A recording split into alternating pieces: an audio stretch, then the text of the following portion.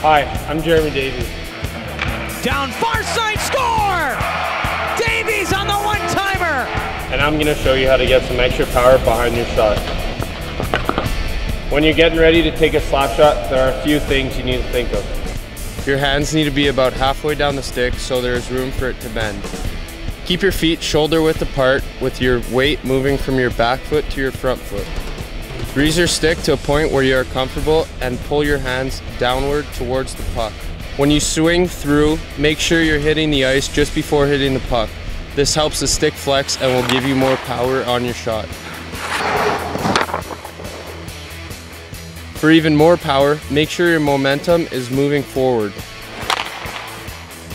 That's a few tips on how to get the most power on your shot. For more examples, come see me and the boys at our home opener on Friday, September 25th at 7. See you there.